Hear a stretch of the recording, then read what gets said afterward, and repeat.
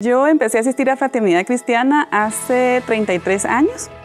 Eh, con mi familia empezamos a asistir. Mi mamá era cristiana, pero mi papá no. Entonces mi mamá, pues a nuestros cinco hermanos nos llevaba a la iglesia, pero ellos siempre tenían mucho conflicto porque mi papá no quería acompañarla a la iglesia.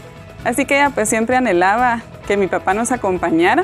Y un día una amiga le contó que una iglesia, en ese entonces la Frate, estaba congregándose en el cine Reforma. Así que a mi mamá le pareció una estupenda idea invitar a mi papá, ya que en el cine sí nos iba a acompañar.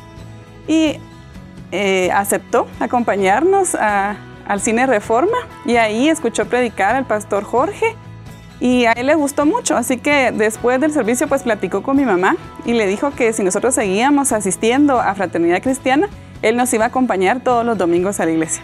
Estoy feliz de ser parte de estos 38 años proclamando a Jesús. 38 años proclamando a Jesús.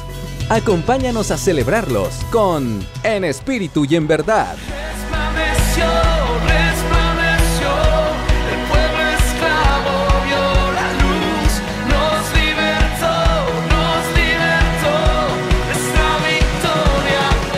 y Vicente Montaño.